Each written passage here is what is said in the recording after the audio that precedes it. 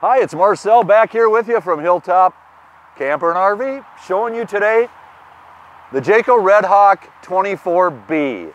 This is a Class C motorhome with a bunk over cab. And again, I like to always start out first with our uh, Jayco products, them using a one-piece fiberglass cap. Folks, I can't stress to you how important this is. If you're out looking at RVs and you see that there's a seam here on each side, run seriously, the most damage that your RV is going to take is up here from a storm going down the road that with this all being one piece, there's no way water's getting in this cap. So please take that into account when you're looking at motorhomes. Very important. This is a 2023 Redhawk. It's on the uh, brand new 7.3 liter V8 350 horsepower motor. Uh, in the past, they've used the V10. This has more horsepower, better gas mileage. So pretty excited about this new engine that they've been using here on the uh, Jayco products. Come around over to the side, we'll look at a few things here. First, I'd like to just point out that it is a power step, so when you open that door, out comes that step. Very nice to get into the unit because it is kind of a little bit of a step up there. You do see you're going to have a little bit of storage along the side here, and your uh, LP is going to be out here. Backside of your water heater and furnace here, refrigerator here. Does have outdoor speakers, so you do have outdoor entertainment with a beautiful awning that comes out about eight, nine feet for you. Coming around to the back a little bit here, it does have LED lighting throughout, so very rarely you get ever replacing bulbs on this. Does have a roof ladder, so you can get up there to uh, inspect your roof, check your seams, do any maintenance that's needed. Or heck, if you're going to a NASCAR race, pull out your lawn chairs and sit down and watch the race. Over on this side is going to be your compartments for uh, doing your uh, sewer and water and what have you. But here is an outdoor shower. Here's your city water connection. Black tank flush that rinses out your black tank. Your black tank is your toilet water only, so rinses that out. Big reason to have a black tank is, or a flush, is there's a sensor in there that's telling you how full that tank is. Well, if that's getting corroded with toilet paper and solids and what have you, you may get an improper reading. So it's nice to be able to flush that black tank out, giving you a correct reading so you're not overflowing. Again, got some more storage underneath here. Jayco also does what's called uh, J-Ride and J-Ride Plus. On the Redhawks, it's J-Ride. So what Jayco does is when they get this chassis and they have to stretch the drive shaft and add another piece, well, they balance, computer balance those three pieces all as one. They also add Hellwig helper springs on the axle for a better ride, keeping you hugging to the road. Uh, there's uh, jounce bumpers in between the build of the frame and the actual box, giving you a quieter ride. And front and rear stabilizer bars are uh, on this as well. So if you're going around a cloverleaf or something, doesn't feel as tippy on you're going across a windy South Dakota or something, it's gonna be a lot better handling. We like to say that uh, Jayco Class C is best riding, best handling Class C is on the market. Please come in and test drive one and you'll see for yourself that the J-Ride and the J-Ride Plus does make a huge difference. Now we can go on inside. Oh, one other thing, does come with a generator. You can see the tailpipe here. So there is a generator on board. So dry camping, no problem. You can park yourselves out in the middle of the woods and uh, hang out there for the weekend. The one safety feature is it is a gas generator. It runs off of your fuel tank. So if you get below a quarter of a tank, the generator will not run. And that's just a safety so you don't run out of gas out in the middle of the woods. Come on inside.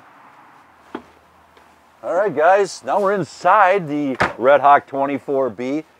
Uh, great size camper, about 26 feet long, so very easy to drive, very, uh, very compact getting down the road. It's got one slide that houses the dinette, the bed, and your wardrobe and a couple of dresser drawers. So that's your slide that would come in. We'll start up front here. Um, Overhead cab bunk rated for 750 pounds. Most competitors are three to 500 pound rating. So keep that in mind, you know, if you uh, got some adult children and what have you, you're gonna want that extra, extra capacity up there. Again, we talked about the Ford, uh, the Ford motor, but again, they got the Sony infotainment center with the big screen. That's your backup camera, that's your GPS, that's everything on there. Using, like GPS, you'd use it through your Android or Apple phone connected through there. Kind of nice, both seats do swivel, so they uh, can face backwards here.